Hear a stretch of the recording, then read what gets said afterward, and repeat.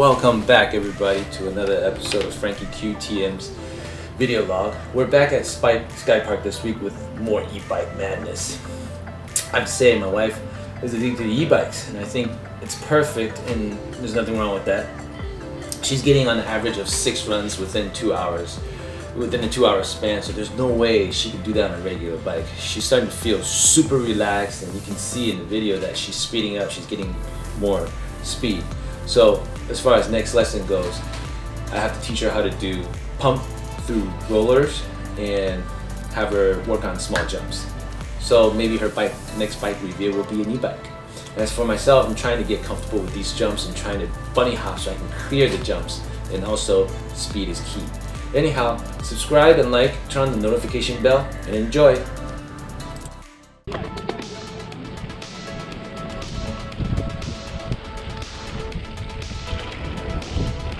Uh!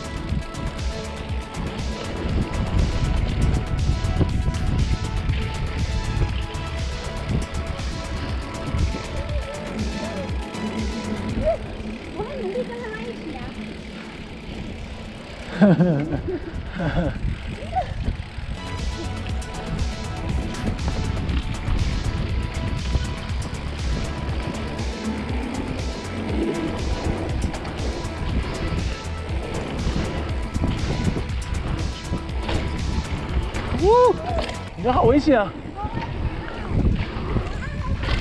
不行不行，下去下去，Trời. Thôi anh cứ để.